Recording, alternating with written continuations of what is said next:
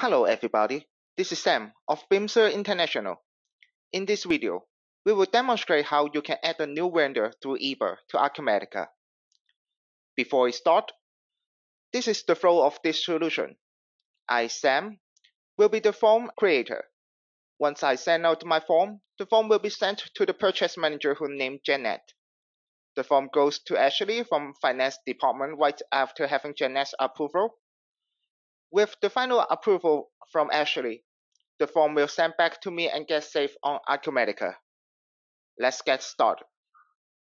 After logging into eBA web application, I'm going to show you a fully digitized form of creating a new vendor. If you click into the flow scheme, a visual representation of our form approval flow will be shown. After the user fill up the form and initial the flow, the form will be sent to the purchase manager once the purchase manager reviews the form and approves it, the form will be sent to the finance department accordingly. At last, the form goes back to the flow starter and waiting for the confirmation of sending to Acumatica. If the form got rejected from either department, it will be sent back to the flow starter for revision or amendment.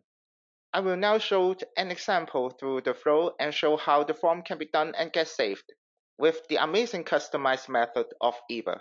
All the required field with an asterisk have to be filled. Otherwise, a notification will pop up as a reminder.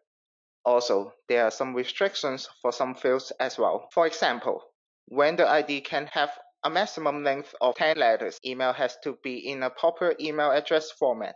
If we want to, we can also attach any documents or files to the render form. When everything is done and confirmed, we can hit send button and the form will be waiting for approval from Janet, the purchase manager. Here, log in as Janet, we can see our form awaiting approval.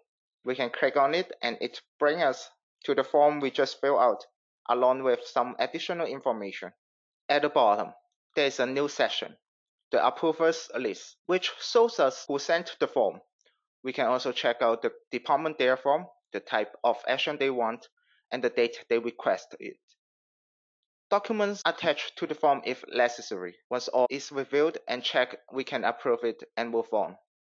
The next step is go through to the finance department. One of the people in charge is Ashley. Log in as Ashley. We can see everything we have previously seen on the form as well as Janet's approval. Once approved, it goes back to the creator of the form. Now that everything be reviewed and approved, we can now send the form to Acumatica. We can now check if everything went through on Acumatica's side. Here it is. We can see that it successfully went through and if we check on it, we can see all the information that we add in eBA. We can also see the file attached here. Beside the web application, you can carry out the same exact function on your mobile application. After logging in eBA in your mobile app, you can reach the same form from the same directory as the web application.